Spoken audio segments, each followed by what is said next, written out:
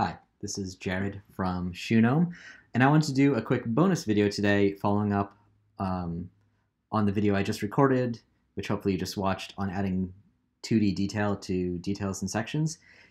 In that video, I talk about using the detail tool to create details, but I didn't actually show you guys how to do that. So let's do that now.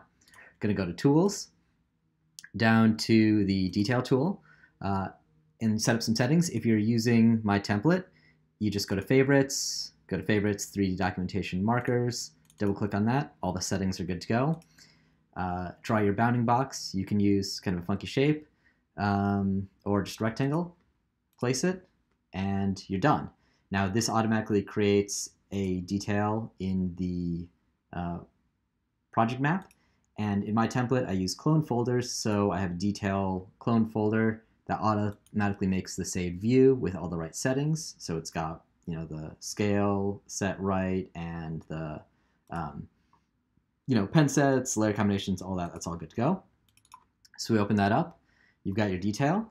Uh, you can go ahead and you know delete lines you don't need, maybe delete a fill or two, and then just get to work, you know, adding your extra detail you know, adding your labels, and that's it. Now, one bonus thing I'll say is if you decide the model is going to change, let's just do some wonky things. Say, say you change the model. Uh, here's your 2D detail. This isn't going to update. You can do one of two things. You can, you know, manually make that change as well. Oh.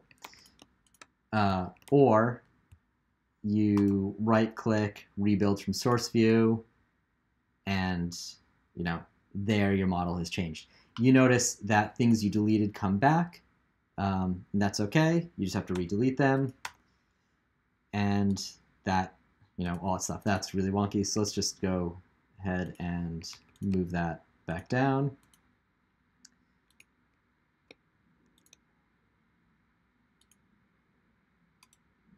rebuild it, and you're good to go. I find that if you start details and the model evolves, after some point you stop rebuilding the model and you just tweak the detail individually because that ends up being faster if you've already added labels and added dimensions and linked things.